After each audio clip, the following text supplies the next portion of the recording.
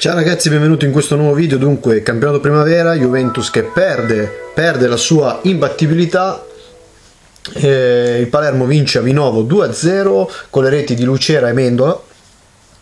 E partita che è figlia di un primo tempo dall'atteggiamento indecente, eh, che credo che servirà a questi ragazzi perché eh, li, li, rimetterà sul, penso sulla via giusta perché l'atteggiamento della Juventus nel primo tempo è stato eh, a dir poco penoso e, e, tanti errori di una semplicità incredibile nell'impostazione, nei passaggi semplici, di sufficienza e Palermo ne ha approfittato con una grinta, una cattiveria agonistica eccezionale.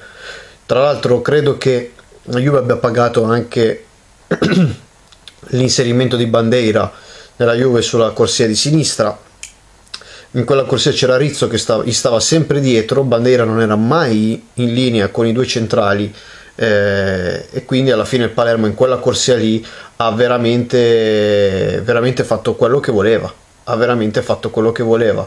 Rizzo è stato devastante su quella corsia e la Juve non è riuscita a chiudere mai. Ovviamente la Juve eh, ha giocato a due, a due in difesa che secondo me non te lo puoi permettere in nessuna categoria e, ha pagato. Credo che queste partite servano per far eh, crescere la squadra, ci sta, eh, ripeto, poi dall'inizio anno non aveva ancora perso la Juve, secondo me già con l'Inter ha pareggiato una partita che sembrava persa.